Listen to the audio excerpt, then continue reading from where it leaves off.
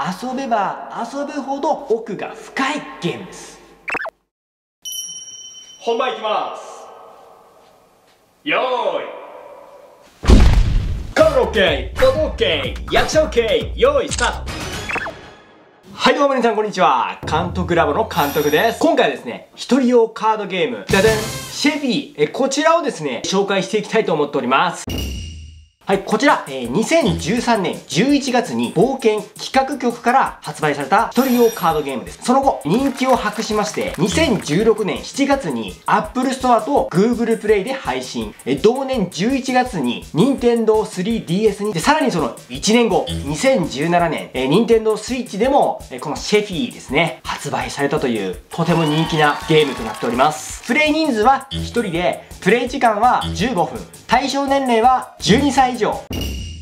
1匹の羊を制限時間内に1000匹までに増やすゲームです。はい。で、このカードゲームなんですが、ポーンさんというですね、えー、日本人で男性の方です。で、こちらこのポーンさんが作ったカードゲームなんですが、この他にもですね、いろんなゲームを出しておられる方です。で、さらにですね、このポーンさんすごいんですよ。ゲームのデザイン、イラスト、ストーリーもですね、えこのポンさん一人で考えておられるというですね自分もやっぱりその自主映画をもともとやっておりましてですね監督撮影編集脚本いろいろたくさんやったんですよねというところでちょっとすごいですね個人的に共感をまあ大体こういうものってイラストはやっぱイラストレーターに依頼したりですとか、まあ、ゲームデザインは考えるにしてもストーリーはやっぱり構成作家とかですねこのシェビーというゲームなんですが、どういう方におすすめできるのかというと、まず一つ目なんですが、イラストが最高。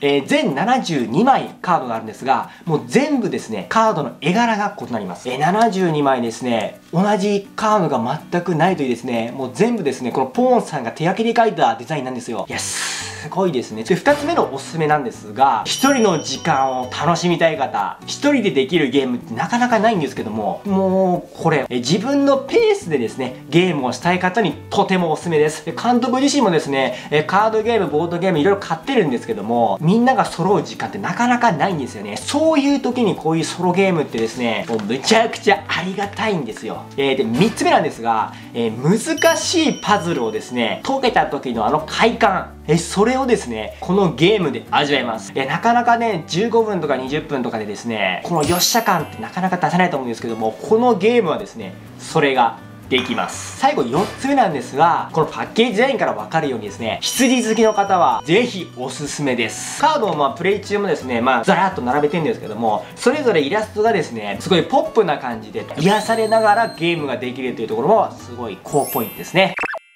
あと個人的にですね、やってみて、えっ、ー、と、感想なんですが、えまずですね、えー、8回ぐらいまでも全部負けました。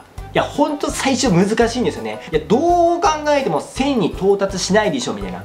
まずそこから入るんですよね。で、その1000に到達した後の、来たなってね。でも来たなと思ったんですけども、9回目に関してはもう負けましたから。このゲームなんですが、カード版とですね、えー、アプリ版とあるのですが、まあ、約もう、50回ぐらいはプレイしたのかな。それでやっと勝率がですね、だいたい8割、いや、7割かな。最初の5枚の手札によって変わるので。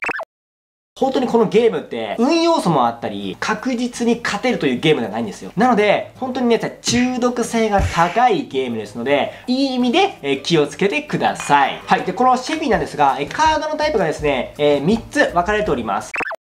えまずですね、1枚しかないのが、こちらです。敵羊カードというですね、カードです。このゲームなんですが、4ターン、ここが1ターン目、2ターン目、3ターン目、4ターン目で1000ですね。この4ターン目の1000に入った時点で、もう自分が1000でなければもう負ける。はい、で続きまして、えー、こちら、羊カードですね。今出してるのが、えー、1番ですね。7、8、9、えー、それぞれのカードが出て9枚ありまして、えー、全部イラストが違います3匹のカード10匹のカード30匹のカード100匹のカードえ300匹のカード。で、最後にこちら、1000匹のカード。このカードをですね、えー、場に出せれば勝ちです。全部でですね、え、49枚のカードですね、入っております。え、3つ目のカードが、はい、イベントカードですね。はい、こちらですね、22枚のカードですね。様々な効果を使うことができるイベントカード。で、この22枚なんですが、えー、同じカードです。例えばですね、統率というカードですね。こちら2枚入っています。それぞれのカードによって1枚しか入っていないもの、2枚入っているもの、あと、梅よに関しては確か4枚入っていたと思います。こちらがカードの種類となっております。